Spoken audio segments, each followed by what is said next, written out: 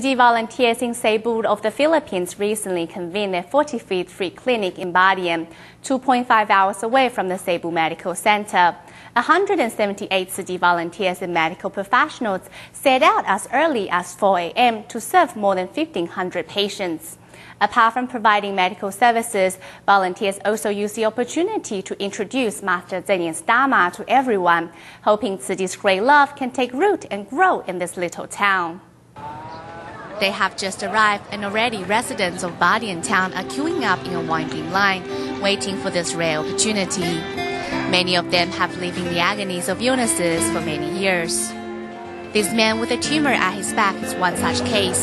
Enduring the inconveniences brought by his sickness, the young man never knew he might one day live life without the burden. With limited mobility, this white-haired senior gets support from volunteers as the doctor carries out the examination. The illness has been with her for what seems like a lifetime. The misery of this elderly woman is shared by many in this impoverished town. Apart from treating the patients, volunteers also introduce Chi to everyone, sharing Master Cheng Yen's teaching to nourish their souls, hoping the seeds of Chi's great love can take root and sprout in this town.